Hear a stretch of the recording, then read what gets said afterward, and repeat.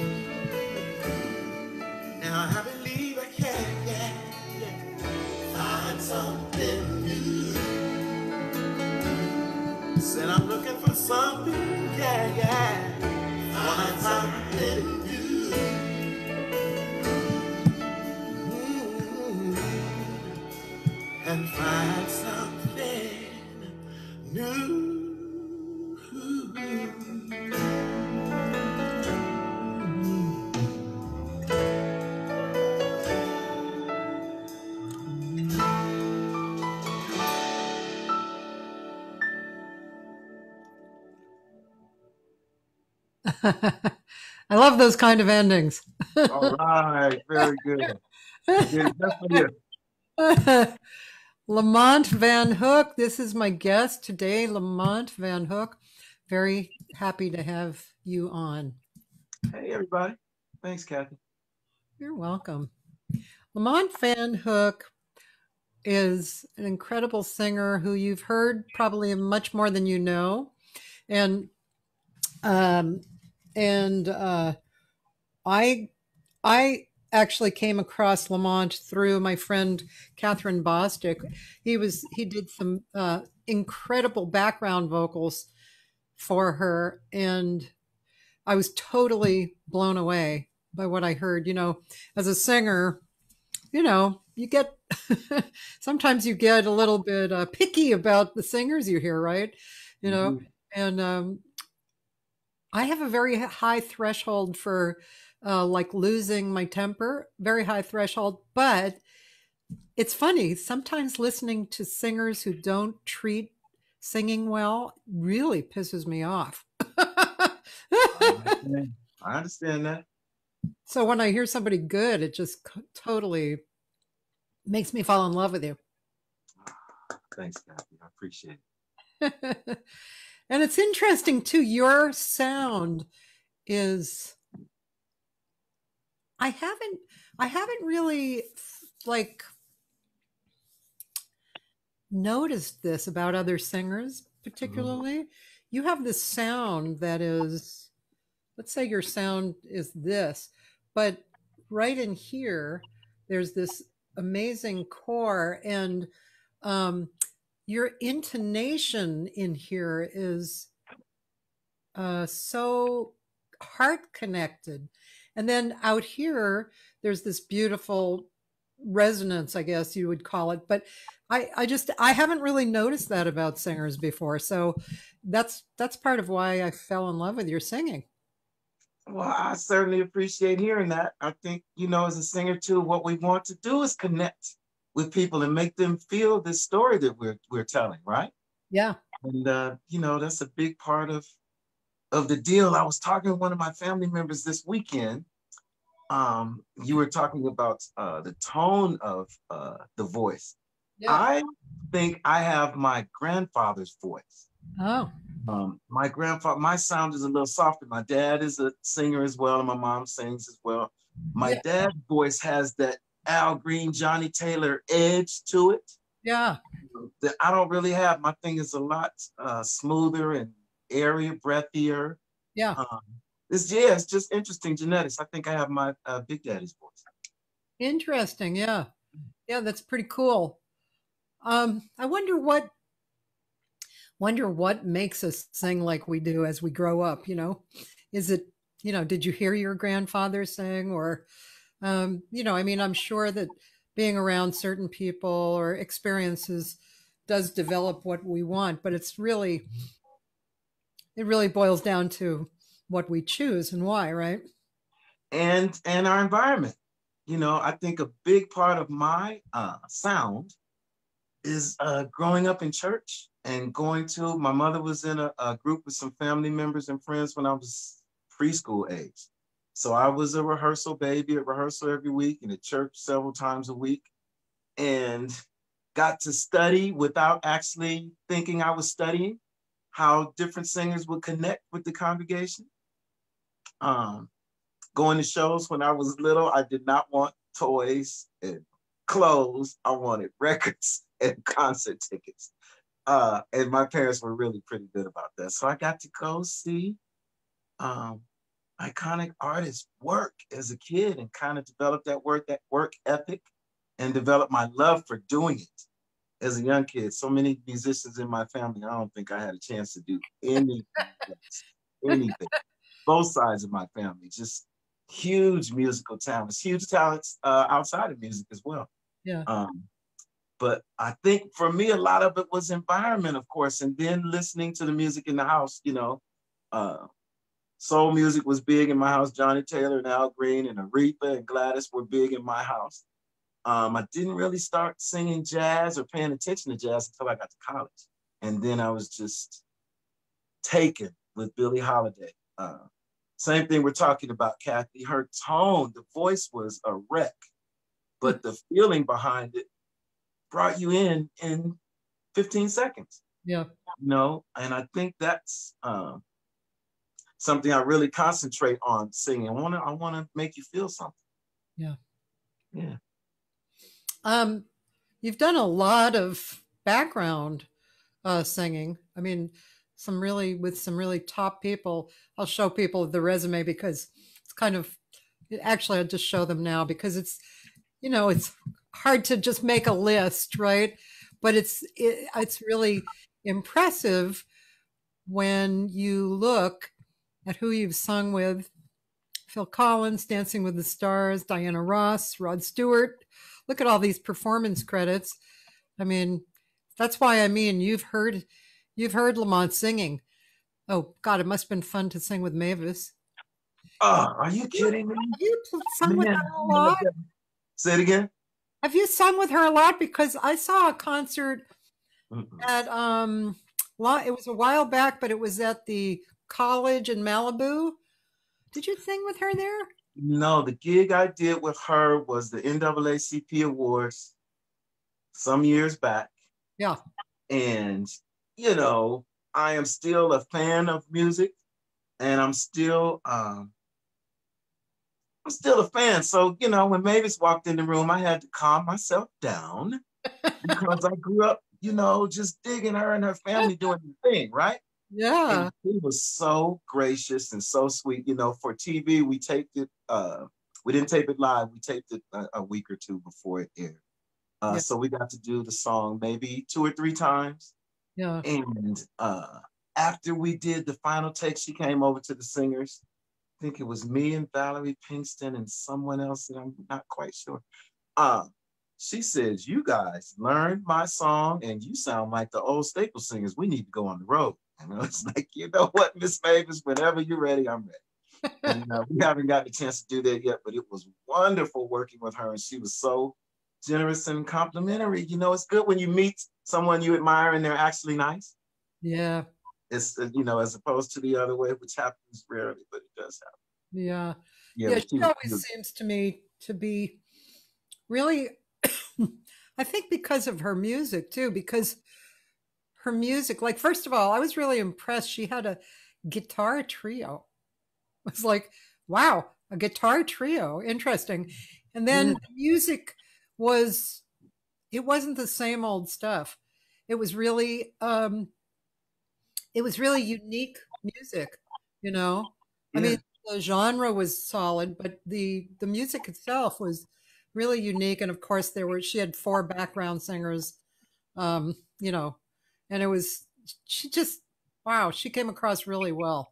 she still got it, man. You know, decades in, five or six decades into her career, and she's still laying it down, if you ask me.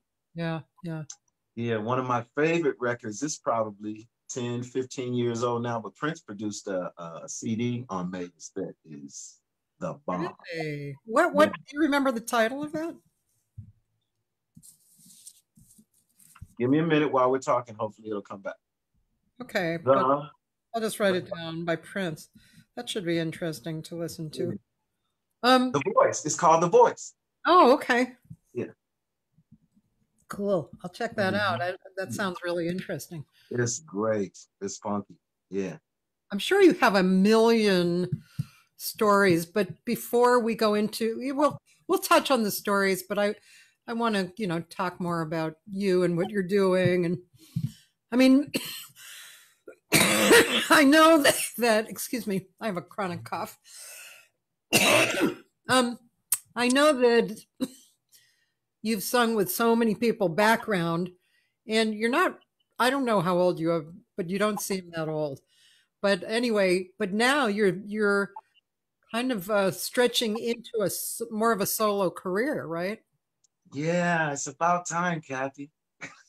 yeah now that that's a big subject you know Yeah. because for many years i don't know how many years have you been singing like professionally Uh, I'm gonna say this is 2020. I'm gonna say 32 or three.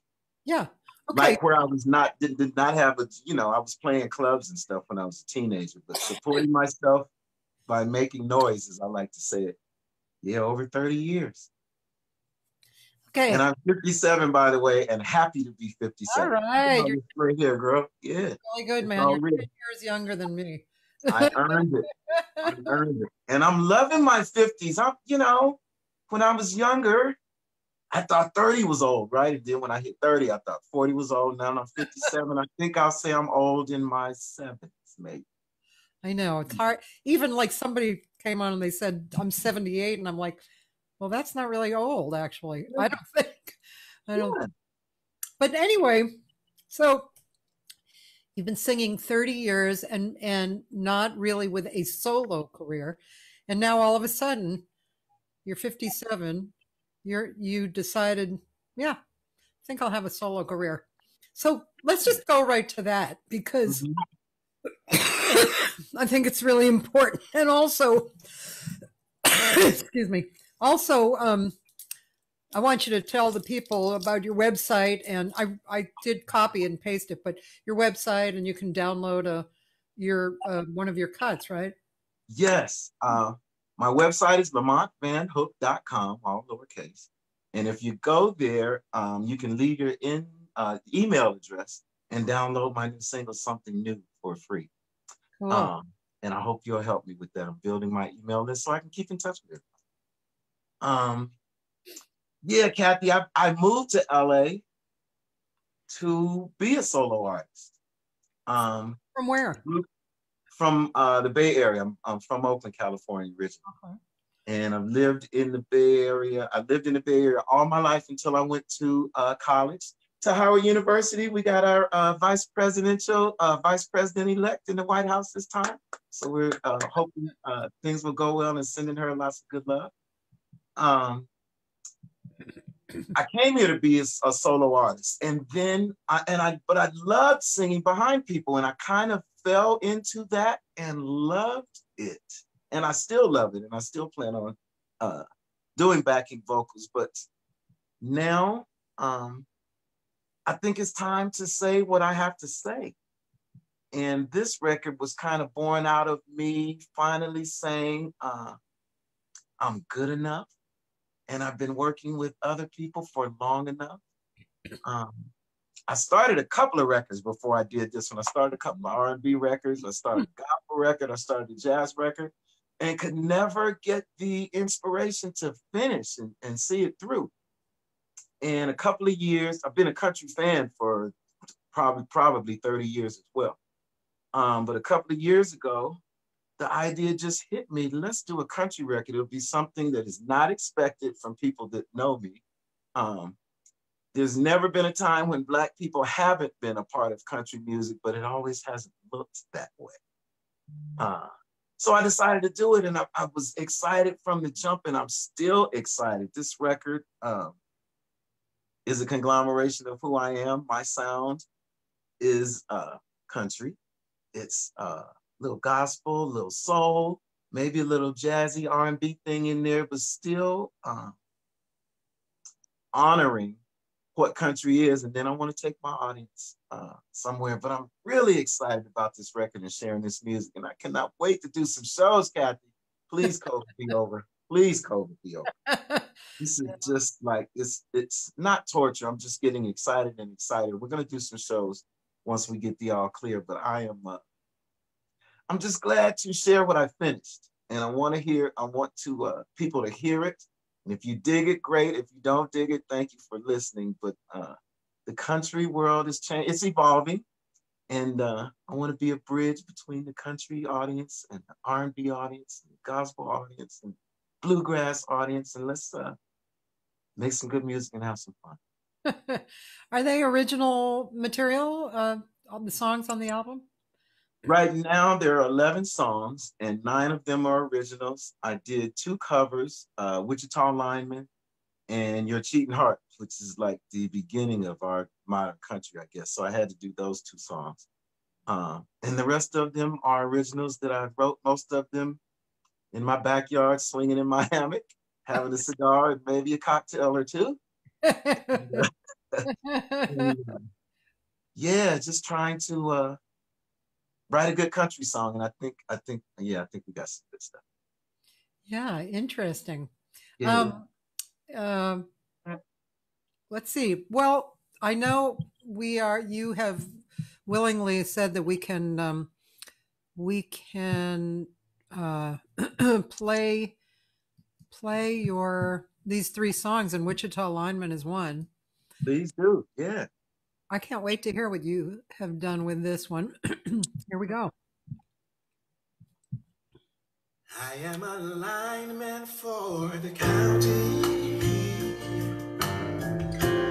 and I drive the main road, searching in the sun for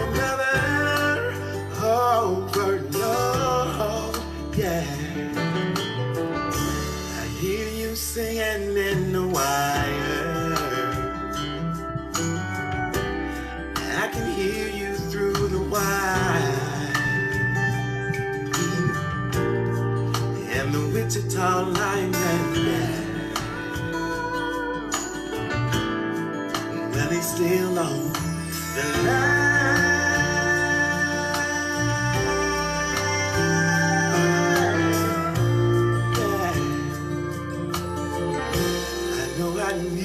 small vacation, but it don't look like. Nose that's stretched down south, won't ever stand the strain. No.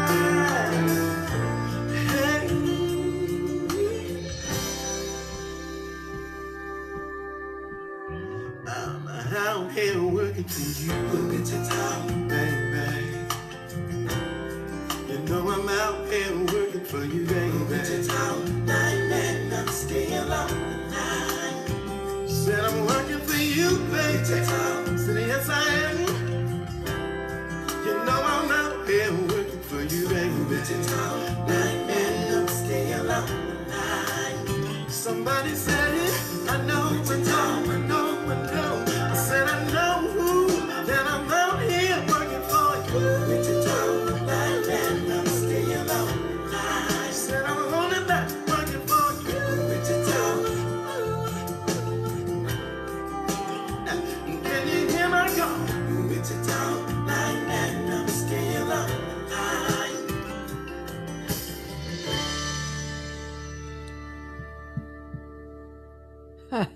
Beautiful.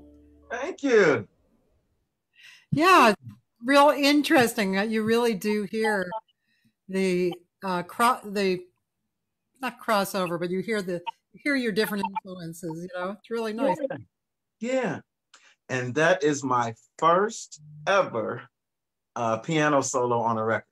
And this was the first, this was the first tune we did for this record, but I've never recorded a piano solo. Usually uh, send it out to some of my friends to do that. my record, I decided I'd just jump into the deep water and have some fun with it. And uh, really, really happy with uh, with the result. Cool. I noticed the guitar player too. Yes, absolutely. That's uh, Milo Deering uh, out of Dallas. He goes on the road with the Eagles. Okay. A mutual friend, and he's doing on that tune. He's playing acoustic guitar and pedal steel. Yeah, really jumped out. Uh, Gwendolyn Bolden said that was quite sexy. Hey, Gwen, we grew up in church together. That's my buddy. Very good. also, good. Aaron Crawford sends his regards. Hey, how's everybody doing? Yeah, man. Um, yeah, Roland here's a little Bill Withers, and yep.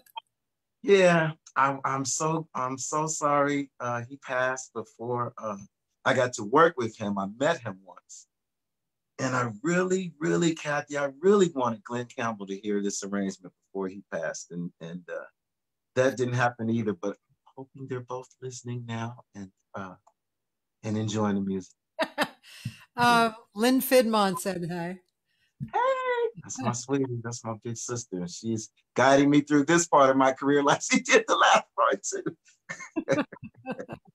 That's cool. Yeah. Well, you know, and I heard I heard that those tones that I was talking about, especially on the long notes, especially, you know, that's what I was talking about. Just and uh, your uh, your backgrounds are really nice. Boy, what you did on Kathryn's new record is your backgrounds were so bomb. It was great, just really beautiful. Thank you. I love her music. I love her music. I've been a, a fan. We met um, on a Rod Stewart gig many years ago in New York when she was living on the East Coast, and uh, have remained friends and stayed in touch. And yeah, whenever she calls me and I'm available, it's it's, it's another party. yeah, she's she's deep. She's yeah, really good. It's yeah, serious composer. Yeah. yeah. Yeah. We worked on that this weekend. That that cut we added a bass, an acoustic bass, and it was really nice. And boy, just hearing you hearing you sing the backgrounds there, it was like, yeah, Lamont really made this cut like just so special. Yeah. Hey, that's good. I can't wait to hear the final mix. Yeah, yeah, me too. Yeah. Um so um I I I know people who have done background background singing, mm-hmm. but I feel like it's such a uh, it's kind of like a commitment, and I I I like to find out a little bit more about that, like because I'm sure you go through a lot of different uh, perspectives and emotions being a background singer. You know, mm-hmm. there's good people to work for, there's bad people you must at some point go, Do I want to do this anymore? Uh, and then other times you must feel like, Damn, I want to do this every single night. And so there's, there's, uh, I'm sure there's so much to it. Um, so I'd like to kind of uh, pull out from you what some of your feelings were along the way, like as you started and as you continued, and you know, just kind of give us a as I said before, we can look at and ask quite ask uh, stories about different people, but I'd rather mm-hmm. hear your point of view first. You know. Yeah, sure. Uh, I think I think uh, background singing is a very specialized skill set. Yeah. Um, because in order to do it well, you really have to listen to what the other singers are doing.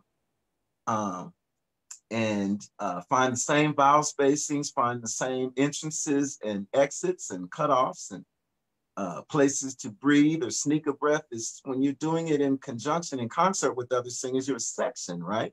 Yeah. And the, the great singers realize that. The um, not so great singers can sing the pitches, but um, the nuances aren't always there. So when uh, when all that is in play, when you got uh, singers that have done their homework and show up to the session, uh, if the producers send out the music or the charts ahead of time, you've uh, really spent some time with it to learn it.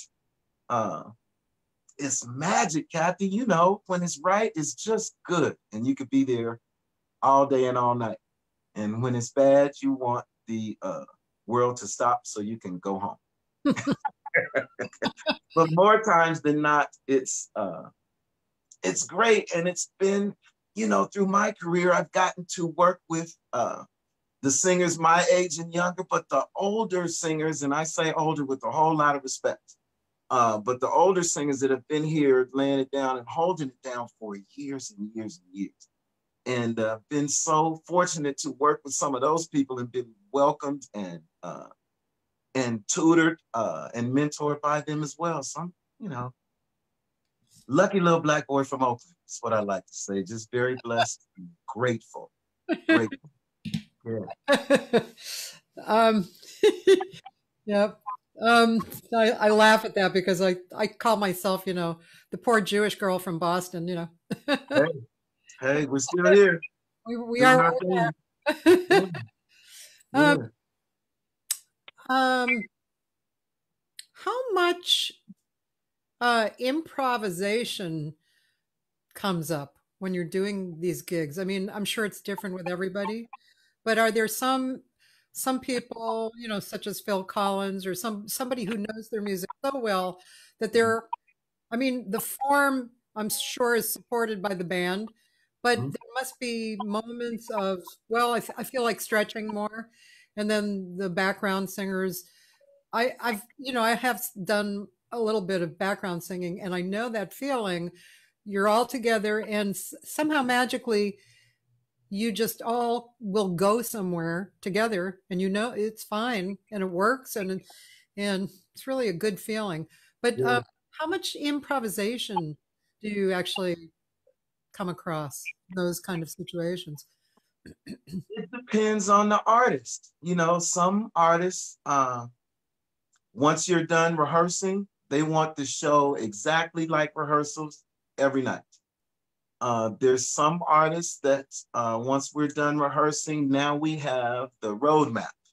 And then they want you to take it to another place every now and then. And it's it's kind of a, a most times it's kind of a happy medium between the two.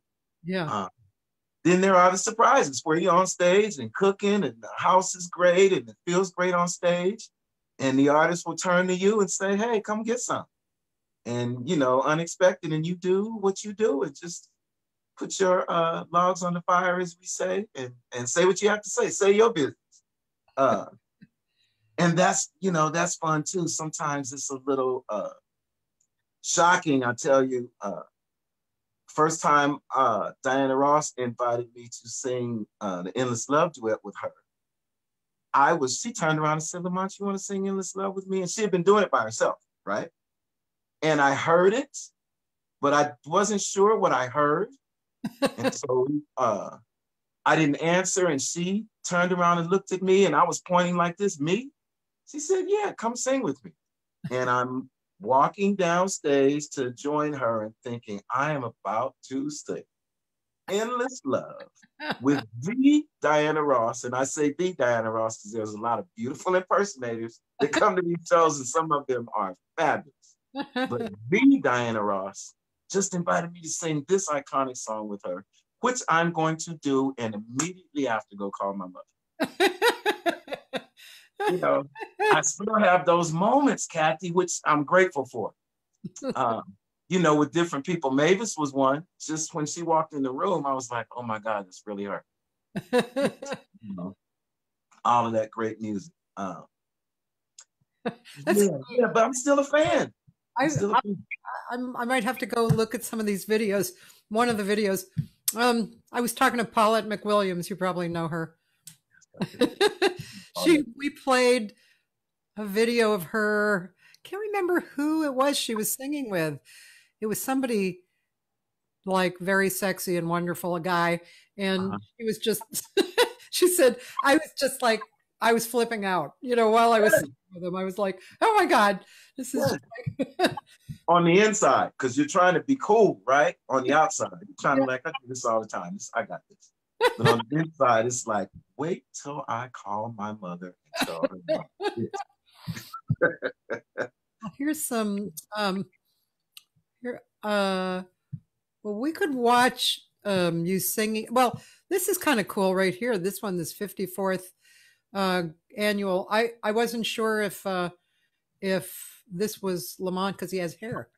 Quite it's, a few years ago, right?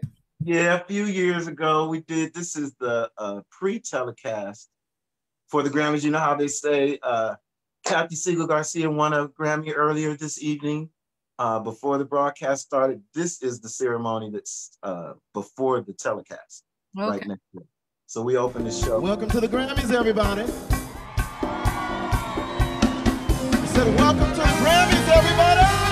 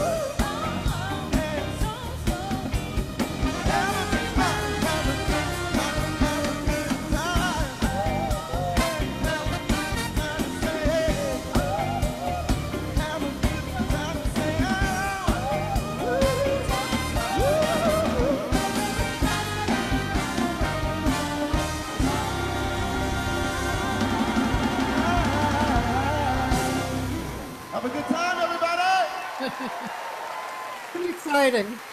That was fun. I have to say that was fun. Pretty exciting. I know I knew about half of those musicians there. I'm sure. I'm sure. Yeah. Actually, wasn't that um, drummer the guy in uh, the Yellow Jackets? Yeah, Will Kennedy. Yeah, Will Kennedy. Oh, he's so Mhm. good. So good. Everybody on that stage, uh, Larry Batiste and uh, Clay Tobin Richardson put that band together, and you know, just Great band. Ron King and yeah, just yeah. Um Yeah. I wanted to ask, I mean, obviously the band, the better the band, the more fun. But um Mhm. do you are there are there these moments of remembering like how good the band was behind you and like what it, you know that just pushed you to the limit absolutely. And sometimes it pops up in the strangest places. really Um, you know, um, kind of obvious, but no less important. You know, a band like the Phil Collins band with the A-list players from around the planet. yeah You know, the first rehearsal, we're running tunes. The first rehearsal, because everybody does their homework.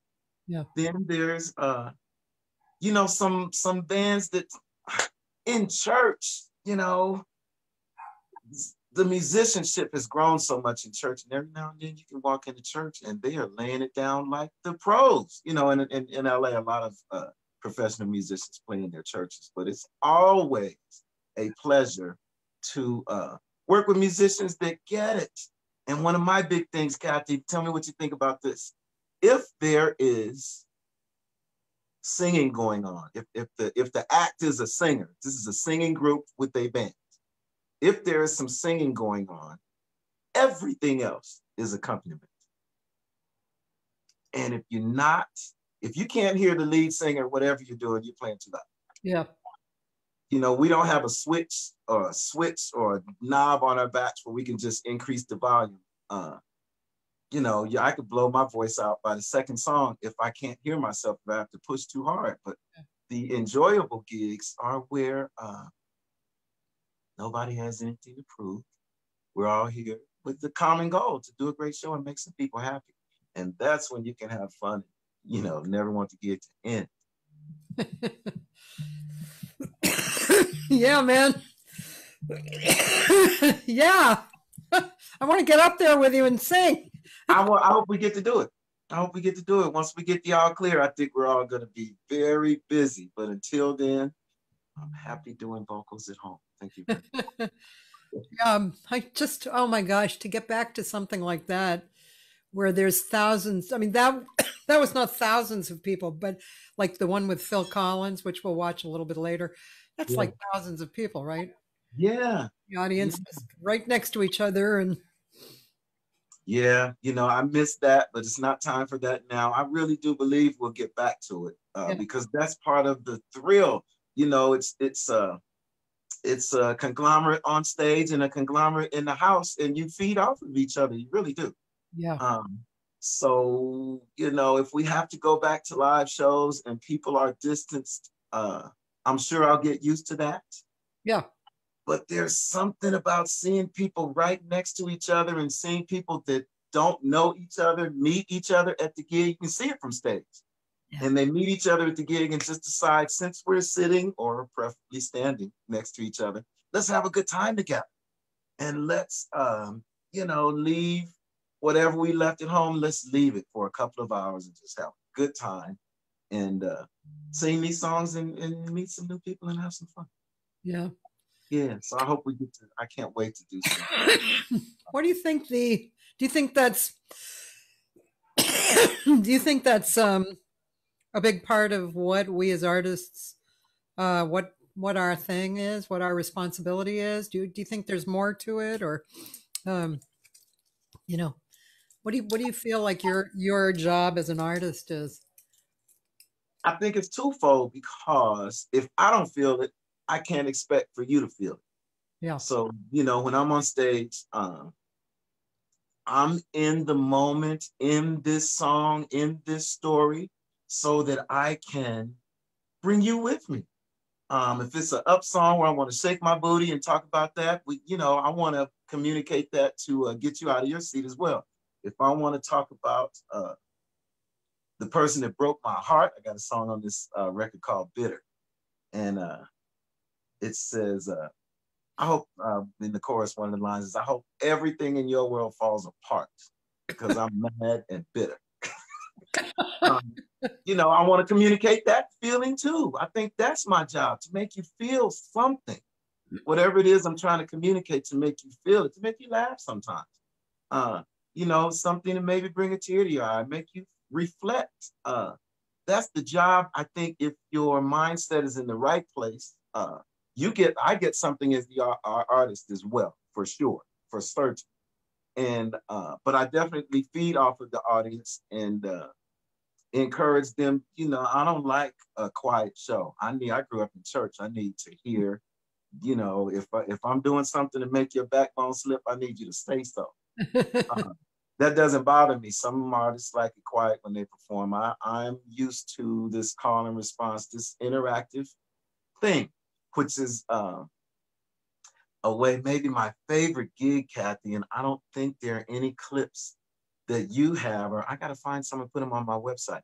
My favorite gig, I believe, and I might get in trouble for saying this, I was with the vocal and percussion band called the Cultural Heritage Choir. Uh, Linda Tillery of the Cultural Heritage Choir. We traveled all around the world, uh, five ladies and myself. And wow. one of the ladies sang the bottom and I sang the top uh, a lot of the time. Uh, just vocals and percussion. We did slave songs and pop songs and wow. children's play songs. And they were actually nominated for a Grammy before I joined the group, but I'm telling you, we would sit in a semicircle with sticks and bells and voices and just have a great time uh, every night. Wow. Um, you know, and then you contrast that with audience, like audiences uh, like Phil Collins and, and Rod Stewart. We were in the Guinness Book of World Records for a minute with Rod Stewart for a million people at one show in Rio de Janeiro, maybe 1919 something, 1998 or 99, maybe back then. Wow. And I think uh, this last tour with Phil, I think we were in one venue with 80 or 90,000 people. So it's, uh, and you can still get what you get in the stadium. You can still get that feedback uh, in an arena or in a smaller theater if uh, if the audience wants to come with you. You know, and I've seen uh, outdoor shows. I've been on outdoor shows where it's raining or even trying to snow a little bit, and the audience is like, "We don't care. We are not leaving." you know, and then you just have to give it up and and and go in uh, 110 percent now. Yeah. Uh, because the artist is ready, and that's that's a big reason why we do what we do, right? Yeah, yeah. yeah. Um, I found a little bit of them. Um, I'm not sure if any of these are with you, but um, I just thought it would be interesting to play one of these, just a little, get a little hit of what they are like. Oh man, these they, they throw down. I'm trying to tell you something. You'll love it. Just, um, I mean, I'll just pick this one. Okay. The little things in life are easy to take for granted, yeah. like getting away from the kids for. But skip the ad. This train. this train, this train, this train is bound for glory. This train, this train is bound for glory. This train, this train is bound for glory. If you ride, you must be holy. This train is bound for glory this train.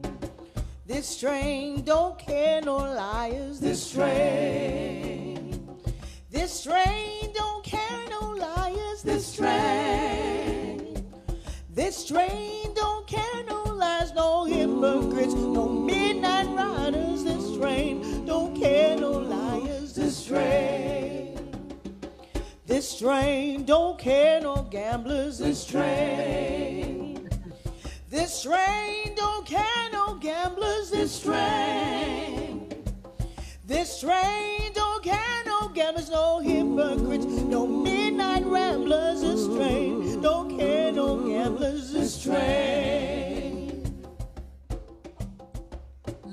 baby, play on your harp. Hallelujah, hallelujah, little baby, play on your harp. Hallelujah, little baby, play, on, on your harp. Mm -hmm. Hallelujah, hallelujah, little David, play on your harp.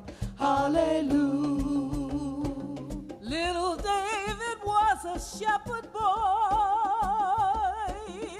He killed and he shout for joy. Little David, play on your harp. Hallelujah, hallelujah. Little David, play on your harp. Hallelujah. Little David, play on. Play on your harp. Yeah. Hallelujah. Hallelujah. Play on your harp. All right. Really great. Kind of sweet honey in the rockish, yeah.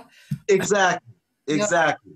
Yeah. uh, Um. This this personnel that was Linda there playing the djembe and the purple blouse, but the rest of the personnel has changed since I uh, left the group. But the the vibe and the uh the compilation of songs, all kind of songs. It was just that gig was a gig for the soul. It was not a gig for the money. It was a gig for the soul. Yeah. and it was so it was so much fun. I, I that's one I, I I have enjoyed the most. I would have to say one of them. Isn't that Yeah. cool? Yeah. Yeah. You know, I wanted to ask you this. I mean, I know what I've experienced myself singing, but um, you sung in with so many different audiences, uh, like thousands and thousands of people listening, or you know, maybe a few hundred or even less. Um, when you sing, and it's your it's your time to step forward and sing. Do you do you find that you basically are singing? Not for yourself, but singing like in your own space and allowing the audience to just share in that? Or are you trying to sell it to the audience? Or is there a mixture? I would say it's probably a mixture. You know, you're there, you're on stage to entertain. Uh, but I, you know, I'm not one that can keep still on stage. It's really hard for me. And some gigs, you know, call for you to just kind of be kind of stoic and and let your mouth sing these pitches, and that's all. It's really hard for me. I move. So I think um the first part of it is me having my fun having my fun. And I, I like to say, you know, on the spiritual side, that's my praise, Kathy. I am so grateful to do what I get to do um, and live by. That's how I eat. I say I eat by making noise. Um, it's my joy on stage, and I want to communicate that. Um, not trying to sell it just for selling its sake. Uh, but I'm having a good time, and I want you to have a good time with me. Let's play.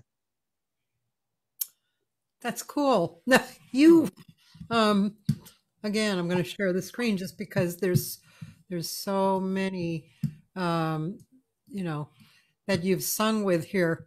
I mean, wow, you know, all of these people I've listened to all my life. Mhm. Uh, well, almost all of them. I, um, you know, Quincy Jones. I know you have something online that we could watch with that. James Taylor, Mhm. another heart heart thing. Uh, yeah. Annie absolutely. Lennox, Mhm. one of my favorites. You know, and Indeed. I'm sure a lot of people, Wynonna and Clint Black and Pam Tillis and uh, Patti Austin and George Duke. That no, that was probably more of a was that more of a solo thing that you did with George Duke? No, I was I was I toured with him for like six or seven years before he passed. I was part of his last band before he passed away a few years back.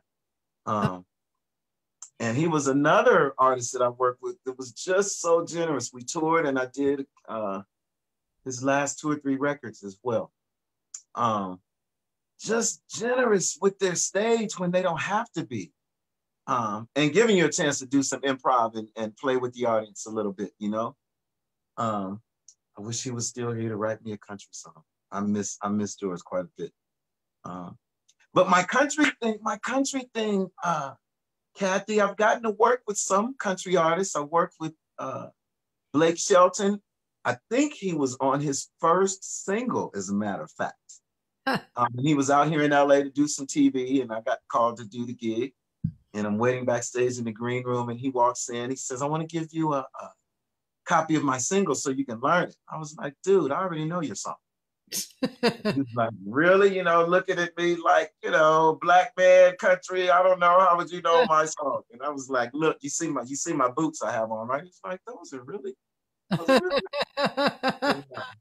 so we went and did the sound check, and he knew I uh, figured out I knew, saw that I knew the song, and uh, came back afterwards and thanked me, and, and really cool guy, and said, I, "Would you like a copy of my CD?" I said, "I would love a copy of your CD if you will sign it for me." which he did, and I still have. Uh, and he's huge now, right? uh, I did a TV show with Clint Black. Yeah. TV with Wynonna. Man, I want to do a duet with her. She was so damn cool. Just regular.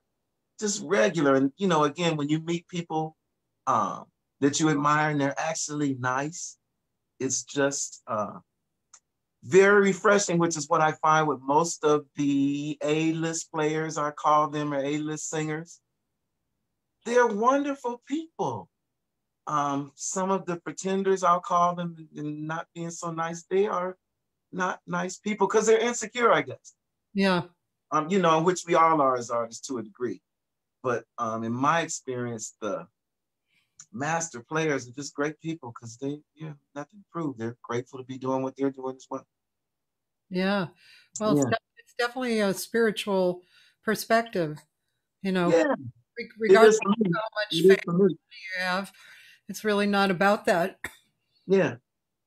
Yeah, it shouldn't be anyway. It should it should be. It's an interaction. Music is a very spiritual thing, uh, regardless of the genre. You know, some of the heavier forms of music, which I'm not really uh, into, um, they make you feel something too. I was in Milan uh, visiting a friend, and he took me to see a band called Pantera. Are you hip to them? I I don't know. The name sounds familiar. I don't know. I want to say heavy metal or something like that. He just wanted me to go to a concert to see some of the music he loved, and I went. And it, you know, everybody was. Most people were dressed in black. It was in an arena, and they were headbanging through. And I was just in awe watching everybody in concert headbanging together. They were, they were in it and they were having their kind of great time. And that's what I enjoy. Um, the music, you know, if I tried to sing like those guys, yeah, yeah, my voice would be shot in like five minutes. Yeah. That's not my gift. But uh, you know, I can respect uh other people doing their thing and I like I like seeing people have a good time. Yeah. Um, Roland wants to know what did what did you do with Dave Brubeck? We did uh, one of the honors of my life. Check this out. We did the uh, Monterey Jazz Festival. Uh, Lynn Fiddmont, Fred White, and myself. And we were, it was the 50th anniversary of this jazz opera that uh, Dave Brubeck and his wife had penned, had composed. Oh. And the original lineup included Louis Armstrong, Ella Fitzgerald, Dave Brubeck, of course, and this group of singers that I cannot remember their name, but the three of us, me and Lynn and Fred, were standing in for these singers. Lizz Wright stood in for uh, Ella Fitzgerald before her first record came out. Oh boy. And uh, I can't remember the brilliant brother that did uh, Satchmo. But we did the Monterey Jazz Festival, and Clint Eastwood uh, introduced the band. And then as we were walking off stage, he came to me. Oh, I want to shake your hand. I was like, "What? You are Dirty Harry. I want to shake your hand."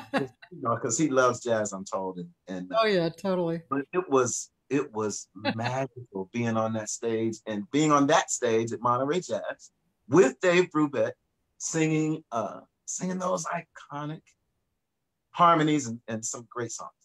Wow, cool. That's really great. Very yeah. cool. It was very uh, cool. Yeah. It's really big, big on that. Sorry, I just have to adjust my blinds, but okay. Yeah, we had a great, uh, great time, and uh, thankfully, he and his wife uh, kept in touch before he passed. I'm not sure if his wife is still living, and their son Chris is still. I think he's a trombone player. Just really beautiful family, and you know what a musical legacy, right? Totally, totally. When yeah. I first came to LA, I was a waitress at the jazz club Donte's, and Clint Eastwood always hung out there. and um, uh, there was a place the um, uh, the Money Tree, which still exists, but it's a kind of a different venue now. But um, we, you know, we we as singers would have those were the days we had a week, a whole week that we were singing at this place. And then another singer, right? And mm-hmm. Clint always used to hang out there too. Um, and I just remember the first time I met him, I was a waitress at Donte's and I was doing whatever I was doing at the bar. And I looked up and there was there Clint looking over me. And I had never really thought about Clint Eastwood much. Yeah. My my knees actually went weak. I get it.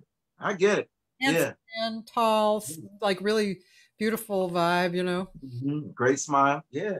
Yeah. Yeah. I can see that. And he has a place in Monterey, you know, he has a hotel and a restaurant and lounge. Yeah. And so um yeah, I've sung there before too. And uh yeah, he's he's Clint Eastwood, man.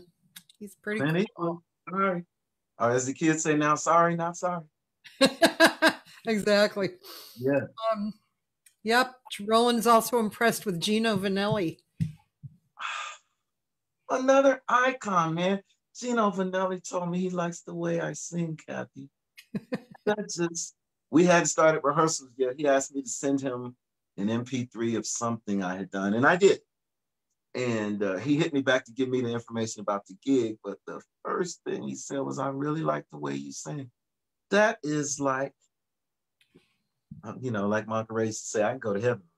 I'm, I'm, um, one of the things I want from this record is to make my colleagues proud, Kathy. I've been, my life has been poured into by so many of the people that I work with um, here in LA and around the world, and and the work ethic, um, the legacy of respect for the music.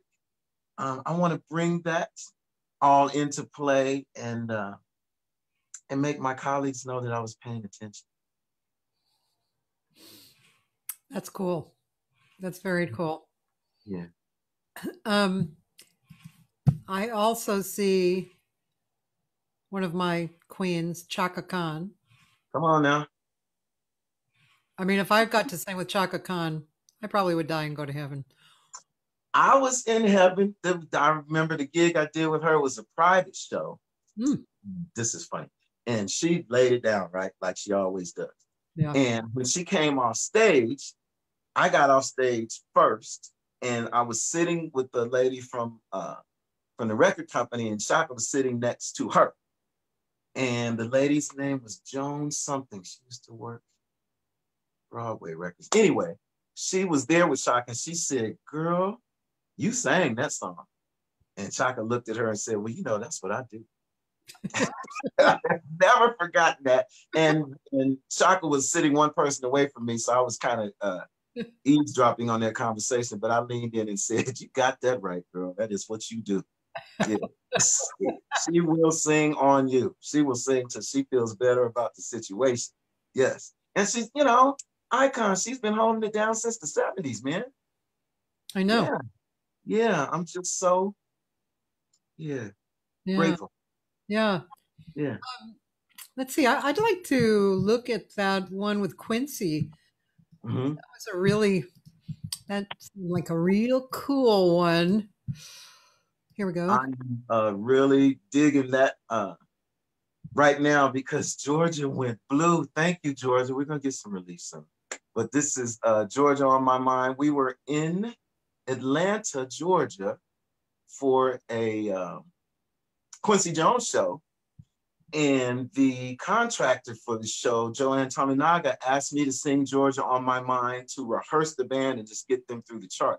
Unbeknownst to me, Quincy was in the building but I, I sang the sang down the chart and we might have done it twice. And then we're on a little break and Quincy walks on stage and I see him and you know I'd worked with him before, but you know Quincy Jones walks in the room and you're just in awe, right? Oh, you sure. So I, I see him walking on stage and then I see him. He looks like he's walking over here to the singers. And then he looks like he's walking over to me.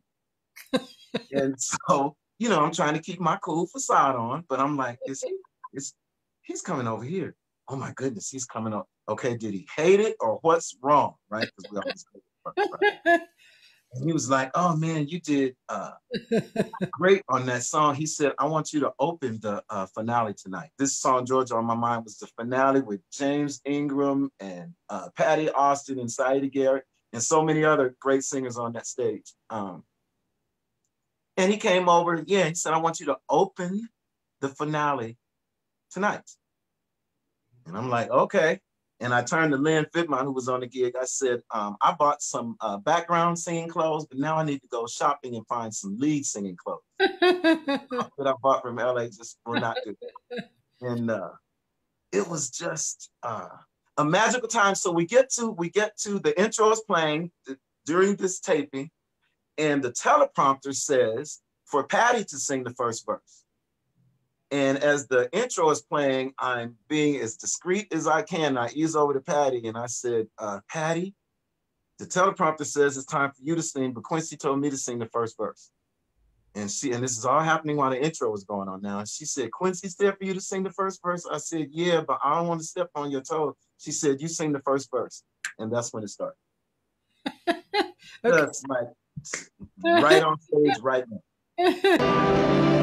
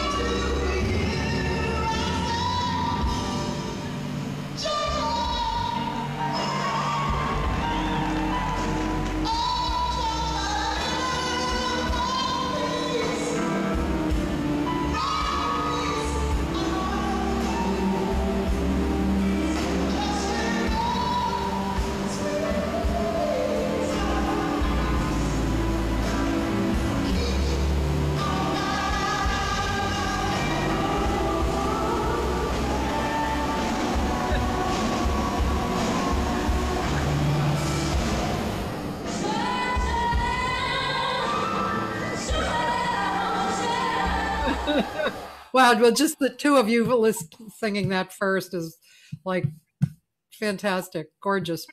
I'm just grinning, reliving that moment. It was so much fun. Oh God, it was fun. Yeah, who is that? Uh, that girl who was just singing. Her name is Nikki Yanofsky, I believe is her name. Uh, young girl with a big voice, big voice. She was singing. This, yeah, lots of I think uh, members of Pentatonix were on stage that night. Yeah. Um, and Patti and James Ingram and uh, Siedah Garrett. And the young man, I'm trying to think, I love his voice as well with the blonde beard. I can't remember his name. That's it's been a few years, Cathy. That's okay. did, you, did, you, work with Quincy uh, more often? I've done a couple of things with him, you know, three or four different shows uh, around the world, just one offs. I would love to do a tour with Quincy Jones. Um, yeah, but he's always been iconic and regular. Uh, you know, yeah, very supportive. After that show, um, I was leaving stage and they had a, a, chair set up for Quincy in the wings and I was walking past him and uh, just thanking him for inviting me to the party. And uh, Quincy Jones got his card out of his pocket and gave me his personal phone number that I still haven't used because I've been advised don't use this number unless you have a reason. But this is the number that he actually answers. Hopefully it hasn't changed because now the record I wanted to hear. Uh, but you know, every time I met him, he's been really supportive and just regular, just nice, just nice. Yeah. yeah. Yeah. We, um, I have some friends who I interviewed a few weeks ago, uh, Barbara Bentree and John Rangel huh. from Arizona. He's a pianist and she's a singer and a filmmaker.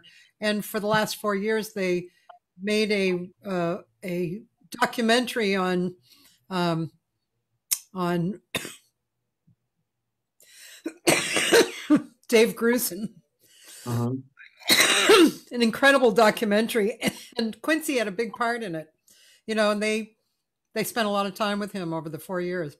Okay, it was really yeah, it was just good. I mean, Dave Grusin is such a genius too, and he's absolutely okay. Know, absolutely, he had so much um, to talk. There was so much to talk about with him, you know, and he had so many different relationships that were quality.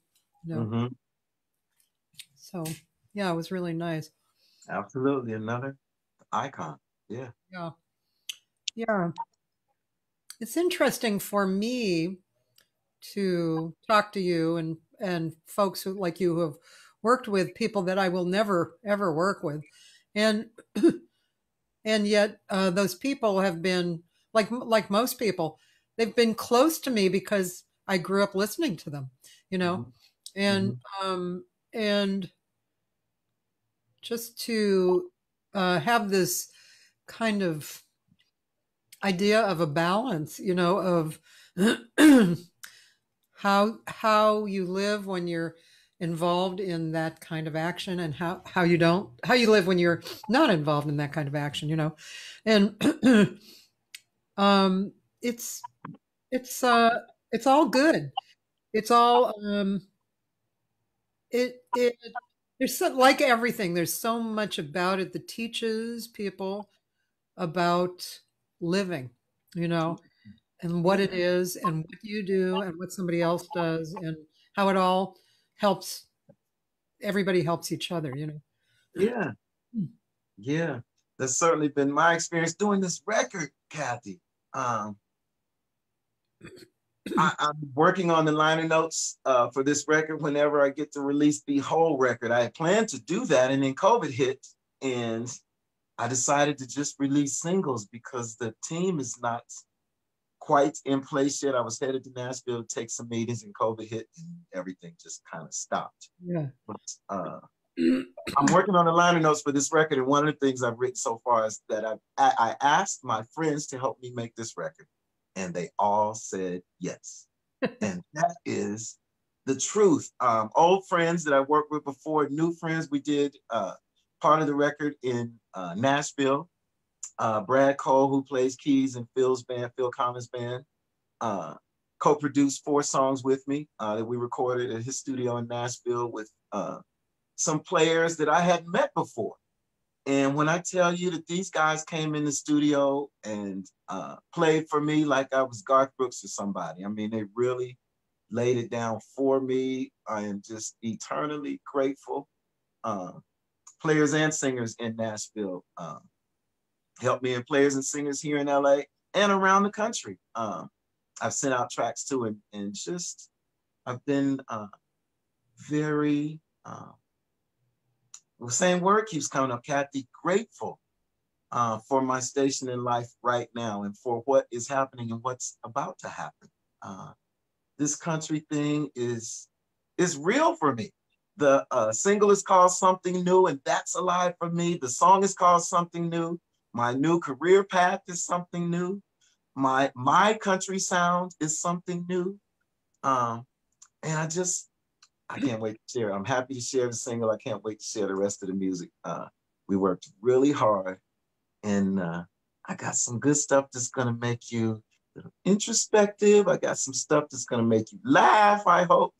Uh, got some stuff that's gonna make you move, and uh, and yeah, when we get to do some shows, we're really. I got some stuff planned for live show. We're really gonna have a good time.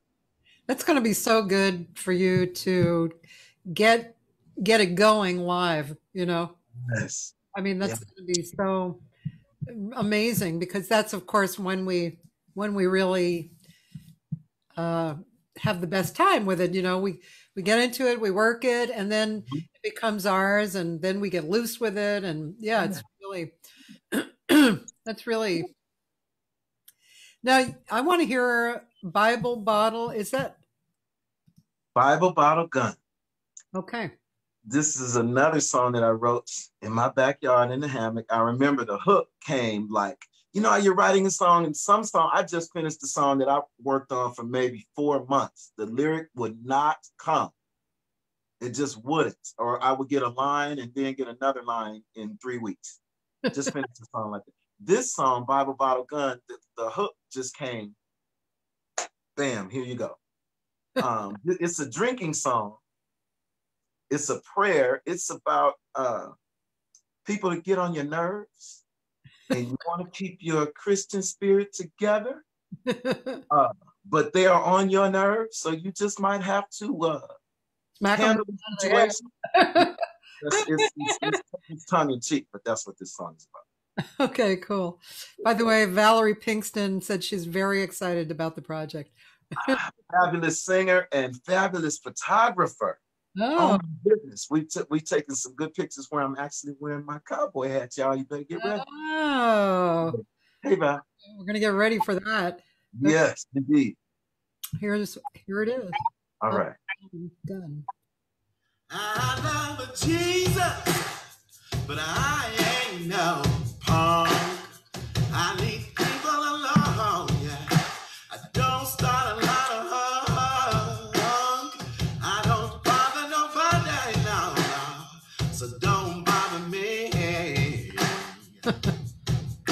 Catch me at the wrong time, it'll cost you every day. That's why I'm here praying. Lord, I want to be ready. But sometimes I need a real stiff drink. Right now, the temple's unsteady. I just might shoot them before they can blink. Father,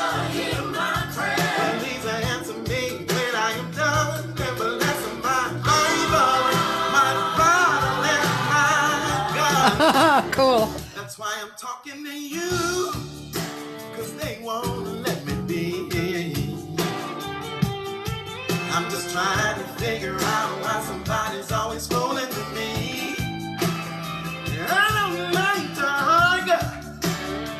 I don't like to fuss. But if you talk about my mama, then you're gonna hear the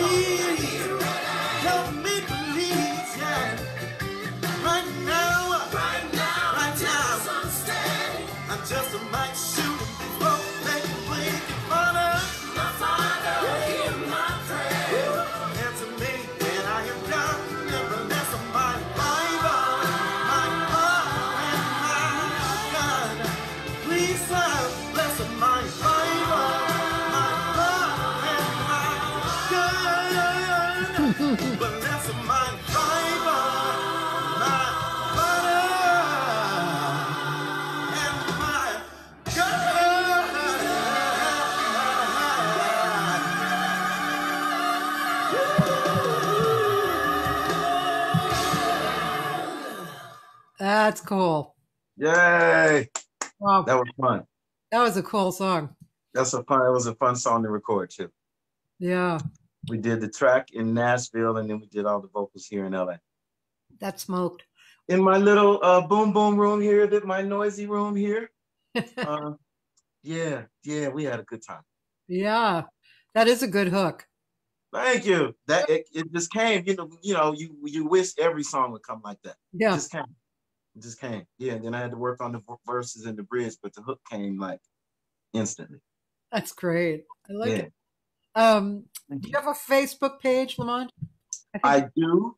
Um, if you go to my website, lamontvanhook.com, all the links for uh, Facebook, Twitter, and Instagram are there. okay. And I'm considering TikTok. Are you on TikTok, Cathy? I'm not really on TikTok. Nope. Yeah, I'm considering that because I just want I want to be in touch with people because that's the way we do things now. Uh, but yeah, please go to my website, lamontvanhook.com, and leave me your email address and download my single for free.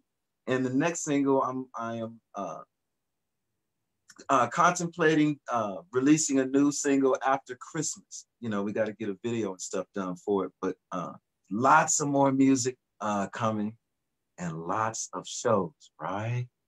Lots of shows. lots of shows. We're going on the road. Yeah. Do you do you work on your business? Are you a business person? I am. I'm a detail person. So that's very much business. I'm I'm in the minutia of details. I, it like makes me happy. Yeah. It makes me happy. Yeah. Yeah. Organizing. Uh, yeah. And we all have to be right, especially now. Especially now. Yeah. you know, um, I've done this year, I think last week I did my third session where I had to go to a studio this year, Yeah. which is, you know, far less than normal. And it is, you know, it's November. Uh, the last couple of months I've been working a lot remotely here at home. Um, but even that is not to the level that it normally is. So, you know, yeah, you gotta you know, figure out how to keep all your ducks in a row. to, Uh, keep eating when you get ready and sleeping indoors, right? Uh, I am, uh, yeah. So you, you know, you learn how to budget in Corona. It's just, you know, it's it is what it is. We're all doing the best we can. I'm grateful for the work that is coming in, and Yeah. yeah, can't wait to get back on the road. Yeah. Yeah. That's great. Yeah. Um, yeah, it's a, I, I'm really good at work and de- and details. Mhm. Like for instance, I did I released one single. Now I'm releasing another, and remembering what the steps that I did around the first single. You know, I have written some down, but I apparently didn't write everything down. Yeah. And it's really, I mean, last night I I was amazed that I was even uh, like alive because I was my attention was like this, you know, each Yeah. finger was a different thing, and I was, you know, doing different things. I was uploading, and I was, um, you know, it- the Spotify thing is very, the Spotify thing is very vague to me. You know, it's, I mean, there's, uh, there's direction, you know, Mhm. for Spotify, but it still seems, it still seems intangible. It still seems like, now how do I, how do I upload my single on Spotify again? I think I do it through CD Baby or, you know, one of those distributions. I don't think I can upload it myself, but I, I forget from, from time to time. I'm really good when I do it, but then, you know, it's, it's, it's a lot to think about. it's a lot. The days um, where a singer could just sing, Yeah. I think that's over. Yeah. And and there are good parts and bad parts. You know, I don't mind uh, kicking in, uh, you know, learning some other things on uh, social media or learning how to edit video or or. Yeah. But that's not, you know, that's not normally my thing. But I have had to learn how to do a lot. Um, some of it is fun, some of it is not. Uh, but yeah, I think the days when we could just stand in front of a microphone and sing, that's over. You got to really engage with your audience through social media or somehow. And, and uh, you know, now when work comes in remote remotely, I'm not only the background singer, I'm the engineer as well.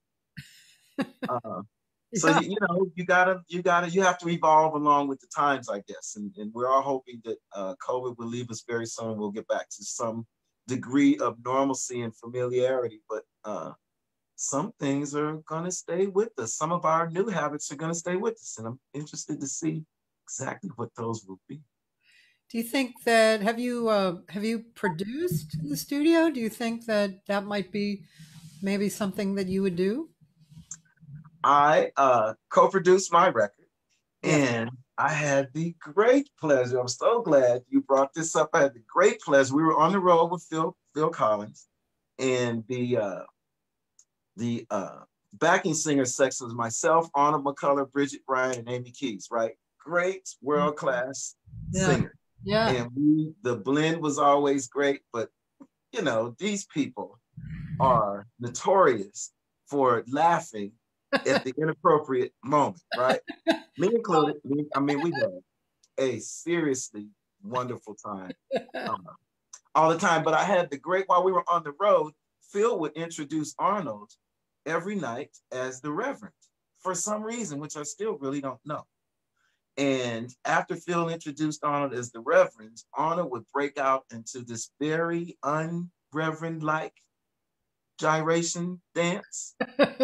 And uh, anyway, one night I told Arnold, I said that the idea, I have an idea to write a song for you called The Reverend.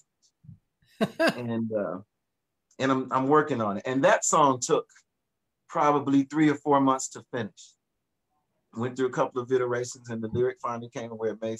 And I produced the song uh The Reverend on Arnold. And we're not sure when it's gonna be released, but it wow. is uh, a really cool thing. And Arnold was really um valuable letting me letting me sit in the producer chair. yeah. And he uh, taught me about producing singers because he had to tell me, you, you know, you wrote the song for me to sing, and now you want to tell me how to sing it. And that's not what you do with the singer. And I was like, you know what? You're right. Sing the song. I, I can guide you with, you know, the the melody in this particular section that I'm actually married to, but I really do want you to take the song and sing it like you would sing it. And uh, I'm just so, I can't wait for people to hear that as well. So, yes, I am a record producer as well. How about that? I love that. I love how he Mm. sings. I heard Wow, him sing live at um, Vitello's a few Mhm. years ago, and it Mhm. was really beautiful. I mean, he's just Mhm. such a, he's really a great musician. Mhm. Great pure tone. Yeah, Yeah. and, and crazy. There's three Yeah. syllables. Crazy. we have a great. I like producing because it really teaches me may and maybe it's partly because I'm a woman, but I it makes me um learn about stating my mind, you Mhm. know, because I do know a lot. I do know a lot. And Mhm. so um and I'm a good teacher. So in the studio it's as you said, you want the singer to sing how they sing, but you also you can recognize as an experienced professional, you can recognize when they're not really delivering their best Mhm. and when they are. Mhm. And that's that's really the beauty and fun of being a producer when you actually Yeah. that is good. That's it. Do- Yeah, we got it. Yeah, or don't or do that again. You got to do that Yeah. again. Um, and I've been having a lot of. Uh, I've really enjoyed producing, co-producing uh, Kathryn in the studio, and that's what I do with her because she is definitely her own unique self, and she Yeah. knows what she's doing and she knows what she wants. She knows when she sounds the best. Mm-hmm. And um, I just like to, you know, steer her or agree with her or maybe push her to do it again or whatever.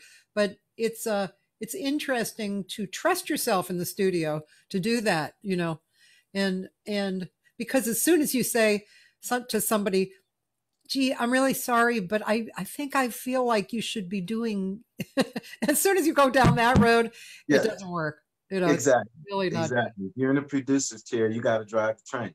Yeah. And uh, and and a good producer will recognize that different. Every artist is different, so you yeah. know the way you would communicate with me in the studio might not be the way you would communicate with Kathryn in the studio. And a yeah. good producer will uh, hone in on the artist that they're working with and you know, first of all, make them comfortable so they can be vulnerable and take some vocal chances, right? Yeah. And, uh, you know, try to find something that maybe they haven't tried before. Yeah. Um, and make this song really live. Yeah. Um, I also remember like being a teacher, having, there was this one producer who would send me people that he was producing.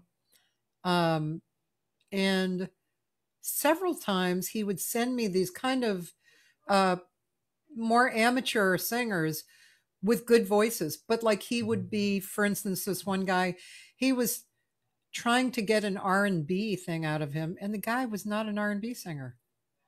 But he sang really well, but not mm-hmm. R and B.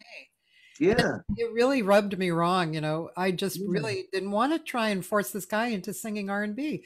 It wasn't what he should have been doing. Exactly. You know? So exactly. yeah, it's really interesting. Yeah. It's kind of like you like good music, like you went to the the head bashing concert. You know, good music is good music. It doesn't really matter if it's a genre you don't normally listen to. I had a singer who was a heavy metal um, guy. This student was interesting. He uh, did, he carried equipment and stuff for Billy Sheehan. Okay. He was a bass player. Mm-hmm. And he came to me and he really he couldn't match a note. Okay. He had four notes to his range, but he wrote great songs. Okay. Like really, and it was not my style, but I really mm. liked the songs. So every month I would give him a lesson and he would go home. And then when he would come back, he would play the last lesson and and sing what he had been working on and then we would do the next lesson and mm-hmm. every month in a year he was like my best student because you know oh and he he was so cute i said you know he was doing a gig i said uh, well could you hear yourself singing and he said no like no am i supposed to yeah we're gonna work on that part yeah like, you ha- you have to have a monitor so you can yeah yourself. So you can hear. Oh. Yeah. so cute. yeah. Not that we all haven't been on stage when the monitors go out and you just got to keep going. Yes. But you should you should start with the monitor for sure. yes. You have to pretend sure. that you hear yourself. yeah. Yes, important for sure. Yeah. yeah. So when you were younger, you said did you did uh, club gigs and stuff? Did you do like weddings and all that kind of stuff too? Yes, we sure did. I was I started playing clubs when I was way underage. I was 14. Oh. And I was playing drums at the time and singing. Ah. And I remember this one particular gig, uh, my cousin Willie Ray, I was playing in his band. And he, I didn't have a union card. And he put his jacket on me and his hat on me and drew a mustache on my top lip and told me to sing and play with my head down just in case the union man came to the gig that night. So we, wouldn't get, we wouldn't get shut down. Uh, but you know, my family has been some of my best teachers. Yeah. Um, growing up, you know, my mom was making records when I was a, a preschooler. My dad was making records when I was a teenager. I just grew up around it and loved it. Um, and and here we are all these years later, still, still really love, really love it. Yeah, yeah. Yeah. I was, this is kind of a silly question, but your last name, Van Hook, mm-hmm. such an unusual name, isn't it? it's an unusual name for for black people. It's a Dutch name. Yeah. Uh, but you know, I've, I've had this conversation with a lot of people over the years. It's the it's the slave master's name. I don't know what the name of my people are is or what it would be. Yeah. Um, but Van Hook is the name of my ancestors uh, once we made it to this country. And I have grown to be very proud of my name. And I try to live in a way uh, that will uh, garner respect for a good name. But yeah, yeah, an unusual name, uh, and it's a Dutch, a Dutch origin, and uh, and I love my name. well, me too. I was just curious if it if it was. I didn't think it was a made up name, but mm I just was curious about that. It's a mouthful, though. But yeah, it's real. well, it's it sets you apart, you know. Yeah, why not? Yeah. Yeah, yeah man. Yeah, man. I have a I've I worked for many years with a pianist named Phil Phil Strange, mm-hmm. and um, he lived in Japan for a long time, and we did. I think it was the first record that we hit. We did a few records together, and the I got the record in the mail. You know, after we had manufactured it, and it said Phil Smith, and I was horrified. And I called him and I said, "Oh my God, they made a horrible mistake." And he said no, no, I, I made my name Smith. And I was like, why did you, why? Yeah. And he had been, this was when he had been living in Japan for maybe five to seven years or something. And he felt, he felt like he wanted to blend in more. Okay. Smith will do that. Yeah. It yeah. was really interesting. After yeah. that, he changed, but yeah, it was, um, I mean, a name you know makes you stand out a little bit, right? And I have been asked, uh, would I consider changing my name for stage? And oh. my response has always been, absolutely not. This is my name. Why? Why would anyone ask you to change that name? you know, some people. Some I've I've been uh, in cahoots with some agents. They want your name to be John Smith oh. or Bill Jones, something easy. And uh, you know, if that's your given name, that's great. Uh, but for me, it's uh, it has always made me stand apart, and my name gets mispronounced a lot. Really, like what? You know, oh, uh, the most uh, most uh, common one is the spelling with L A capital M O N T, but I get L A. My name is L A M O N T. I get L A M O N T E. I get L A M O N D. I get L A M O N D E. It's yeah. so it's your and first. I answer to all of them most of the time. yeah. Um, I'd like to go look at just a little bit of the Phil Collins video because it's it's it's fun. It's fun to see you with this huge a huge uh, audience, you know. Yeah, we did that show in uh, Paris. Ooh, probably 10, 15 years ago now, this show. Now, who is that on the right? That's Amy Keys singing her face off. So, how many background singers is she? She's a background singer as well, right? She's a background singer. She's actually the singer that called me for this gig. Uh, at like three or four o'clock in the morning, which is why I don't turn my cell phone off to this day, Cathy. Wow. Phone rang in the middle of the night, and I answered the phone, hello. And she said, Baby, I know I'm waking you up, but uh, you're going to get a call tomorrow. And when this person calls you, just tell them yes. And I'm like, you know, who is this? She said, It's Amy. Um, Arnold McCuller can't do some field shows, and they asked me who I wanted to sing with. And I told them to call you, so they're going to call you tomorrow. Please tell them you can do the gig and uh, and and she said, "Okay, now go back to sleep." I was like, "I'm wide awake now, and I will be awake until I get this call." Um, and the call came, Cathy, and I go to rehearsal. I had worked with Phil once or twice before on on uh, some of his records, but I hadn't done a live gig with him yet. So I get to rehearsal. I think we rehearsed the third encore, and I did my homework, so I was ready.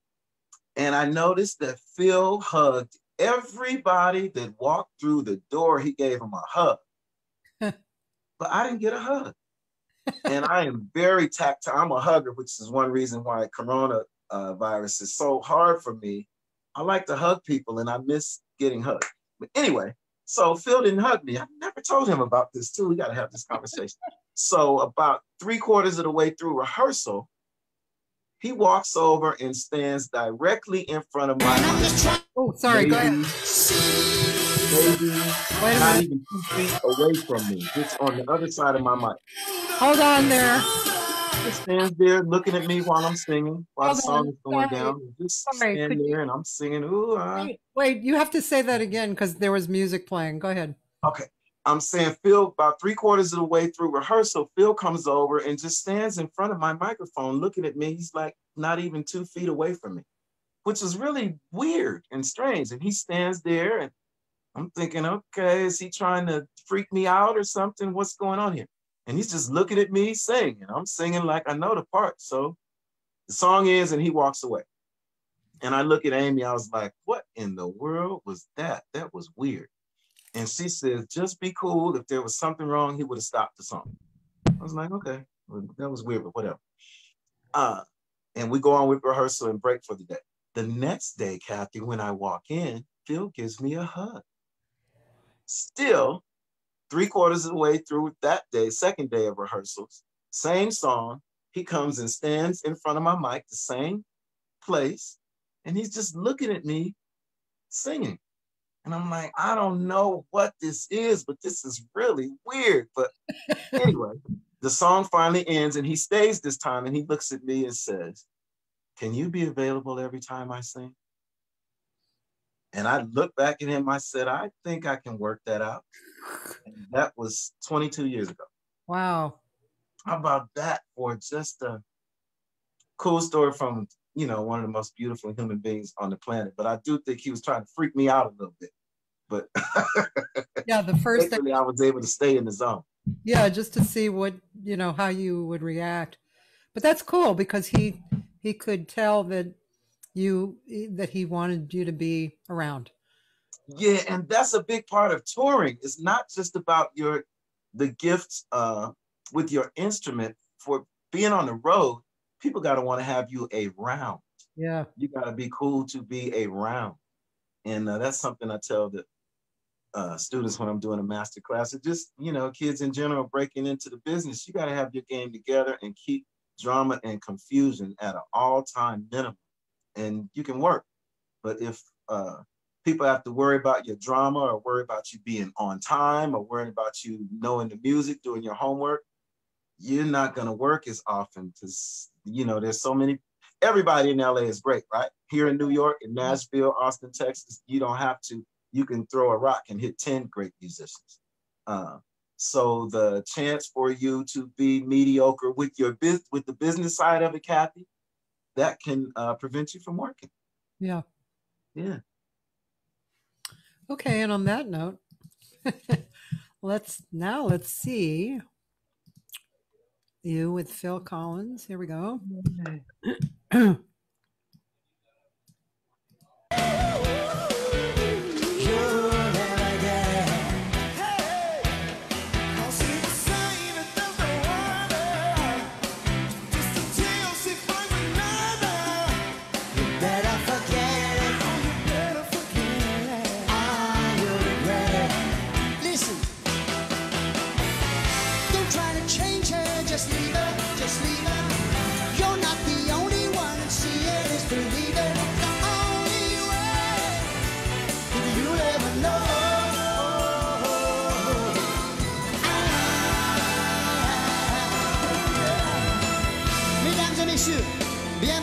guitar, Monsieur Daryl Stuermer.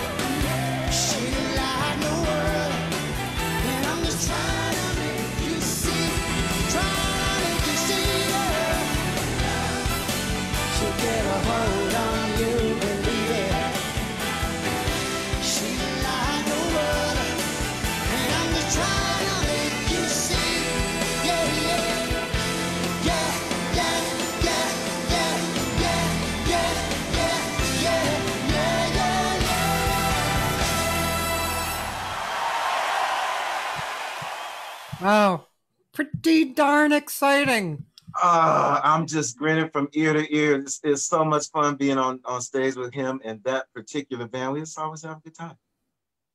Wow. And you and there were like three more background singers. That tour, uh, he went out with six singers. It was like uh, oh. Phil Spector. It was a wall of sound. Wow. Just beautiful. This last tour, we had four singers. Um, you know, and who knows what's going to be next. It's, yeah, it's just just always a pleasure uh, working with my uncle Phil. Yeah, I remember for some reason I just always remembered he the story about how he took care of his voice and how he insured his voice. I don't know if that was ever an interesting point to you or not. We never talked about it, but you know, success like that, I'm not surprised to hear that. Yeah, yeah. I'm not surprised to hear that. Yeah he always appears to be in such great shape, you know, and just with I don't know, he just comes across as a really person with a good attitude and you know, real solid person. He is all of that.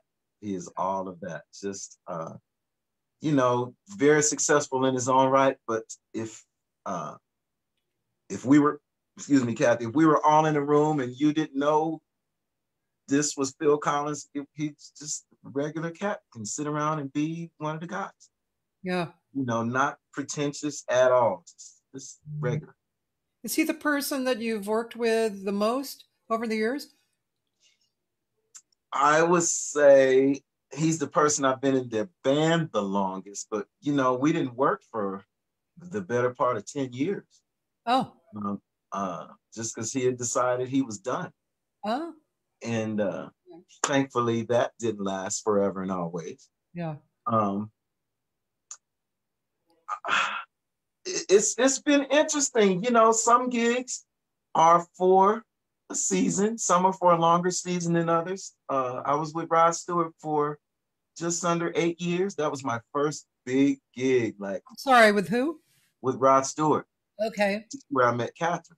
Uh, You know, that was my first tour on private planes and you know, always staying at the Four Seasons or the Ritz, and uh, you know, doing uh, performing in the reading arenas and stadiums. That was the first real taste uh, of that, for which I am forever grateful. And uh, yeah, and and and I had two stints with Diana Ross for maybe, you know, three or four years at a time. Uh, you know, but some things are just one-offs. It, yeah. it just depends. I'm just uh, it's like being chosen for the uh, the baseball team in your neighborhood, the street baseball team. I just love when my phone rings for work. you never know what's coming down the pipe, and it's always fun.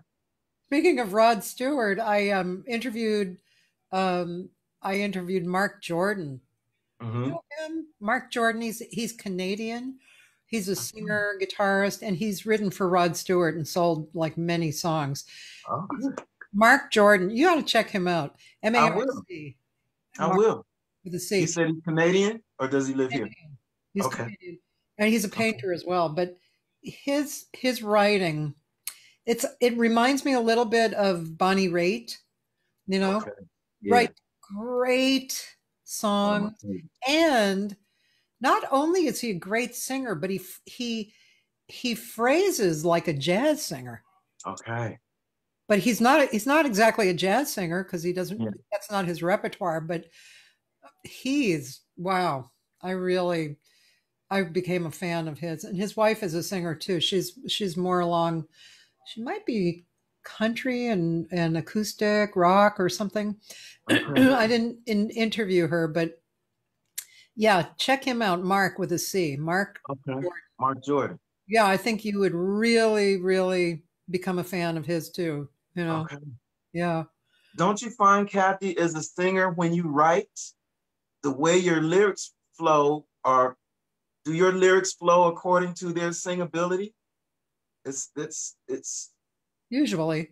Yeah, it's it's it's something that works for me, but it's interesting. Uh, you know, some people that have sent me their songs to sing. I, every now and then I have asked, can I tweak this? I can I can sing exactly what you have written, or I can sing this word to replace that word just because it sings better. Yeah, yeah. It sings better. And and I think that's a gift that a lot of composers, if they're not singers, they may not have that particular skill set. Um, yeah, yeah, but I was curious. Yeah, it works that way for me, so I'm glad to hear yeah. it works like that for you. Too. Yeah, I think so too. Yeah. You know, I generally write songs that I that I like that I like. You know, I mean, uh, that's my reason. You know, I'm not really writing for other people. Occasionally, I'll write for somebody, a friend of mine whose voice I really know, and I just have a vibe to do it. But um, I remember there's there's a really great songwriter singer here in Los Angeles named Shelby Flint, who uh-huh. used to be also a big studios person too, and um, I remember it when in the in the when how old were we in the 80s she was singing a lot and a lot of us jazz singers were picking her songs to sing because they're just mm-hmm. great songs but not that easy you really had to like the song because it was how she would sing it herself, you know? Mm-hmm. Mm-hmm. And um, yeah, that was probably one of my first introductions to singing a songwriter's material and realizing, oh, you know, this, they wrote it for themselves, you know? Mm-hmm. And very mm-hmm. interesting. And you have to really like it a lot, you know, to, to work with it and make it your own, you know? Yeah, but that's the skill that we bring. You, you as a studio singer, you're hired, you know, usually, you know, three hour call for one song. Yeah. You got to go in, learn this song, and now you got to sing it like you've been singing it for years. Yeah. And you just heard this song today. That's uh, uh that's part of this, you know, part of the skill that we bring to to the party. Absolutely. Um, and you know, some people are better at it than others. Um, I take umbrage when I hear people say that any anybody can sing backing vocals. It's just not true. The, some of the best lead singers are horrible background singers because they're not used to singing and paying attention to what the next person is doing. Yeah, they're used to doing what they do and have everybody follow them. Uh, yeah. But it's uh, yeah, it's it's a, it's a very special thing. I'm so thankful to be a part of the singer community here in LA. Um, and I'm not leaving. I'm, you know, I've done this record and I'm expecting some big things from this record, but I cannot wait to be back in the studio with some of my friends uh, singing together. um, Anthony Cucina, he's he would like you to talk a little bit about your home studio setup. Mm-hmm. Because it's right there because it's right here. Yeah. I uh, I record on Logic. I'm not sure exactly what he wants to know. I record on Logic. Um, I bought my Dream microphone some years back. I used the uh, Neumann M149. I just bought uh, the Shure SM7B, um, which is right behind me down there. I got to make some little adjustments to my boom stand, but uh, I'm going to start doing that using that for my uh, live video snippets that I do for my social media pages, Cathy. Uh, I've been just singing a verse and a chorus of some of my favorite songs just with piano. And uh, yeah, getting myself set up here. I don't know what else I can tell you about my studio setup. I'm looking around to see what he would, what else he might be interested in. But you know, this, this is my little tracking room, and uh, Logic is you know particular thing. Yeah, yeah, and I'm I know enough about Logic to really mess some stuff up if I'm not careful. But cool. uh, and I was afraid of it for so long, but I'm you know getting more comfortable and actually having fun. Yeah. Yeah. I guess you play some guitar too. That guitar was a gift to me from my uncle Clarence, who whom I hope is watching. Um, I haven't. I think the acoustic guitar is such a beautiful instrument. It took so long for me to feel comfortable playing piano. I'm just not ready to commit to a new instrument, but I gotta learn how to play guitar using my Uncle Clarence's guitar. So it it it uh, haunts me. It's haunting me right now because it's always in my face whenever I come into this room, and I'm thinking about if I don't start playing it yet, when I whenever I do shows, I'm gonna bring my Uncle Uncle Clarence's uh, guitar so he can be on stage with me. I have not picked it up to learn how to play it yet because I understand it's not similar at all to piano. It's an entirely different instrument. So I'm a little gun shy, but I'll get there. My feeling is that you would really like guitar. I think I would too. I think the sound is is just incredible. Yeah. Just incredible. And doing this country thing yeah. with some of these pickers that can do that uh, James Taylor picking thing, that's just brings tears to my eyes sometimes. So Yeah yeah, I want to learn it. I just, you know, it's just it's just going to be a big endeavor to start learning another instrument, and I'll get there. I'll get there. It is definitely on my list, but I got to get this music. well, Lamont, it's it's it's right around that time. The uh, it's around um, you know close to two hours, five minutes away. So, wow, that went fast. It is does, doesn't it? You're doing yeah. another interview coming up, right? Yeah, yeah. Who's that with? Absolutely. Well, this this is um uh for me. I'm doing an interview in conjunction with uh, Valerie, a photographer and great singer I was telling you about. Oh, yeah. I'm taping, uh, videotaping four of my songs on Wednesday. And after that, I'm going to take a break for a couple of days. And then we're going to do an interview uh, answering some of the same questions, some of the same topics we've covered today, Cathy, but I want to splice the interview in with these performances and have a program, putting my uh, electronic press kit together to have bookers come to my website and book me for some shows, man. You know, I'm just trying to figure out how to do this uh, before, uh, while we're still kind of shut down, at least the music business is still kind of shut down. Uh, so that when things open up, I want to be at the front of the line. Garth, if you're looking for an artist to open your show,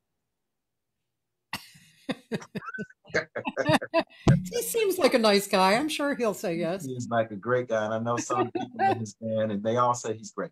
Yeah, my great. husband, uh, my husband was a lighting board operator on the Tonight Show for 20 years, and huh. Garth Brooks was actually one of his favorite people because um, my uh, so my husband had his own separate room, and so the bands would come by come in the room, see what he was doing, talk, mm-hmm. you know, all kinds of stuff. And also my husband collect collects records. He has like thousands of records. And so he would always bring a record if Garth was there and he had a Garth Brooks record. Yeah. He said that he was the nicest person. One story he had was um, at the gate of NBC, you know, there were all these people on the outside, like, you know, oh, Garth, you know.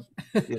and he signed autographs for all any everybody who wanted one. And country artists, man, they do it. They do yeah. that. They yeah. do that. Yeah, for our and and you know, he had a, a Garth had a TV mm. special. Corona's got me all crazy now. I, I believe it was pre-Corona, but it might not have been. Yeah.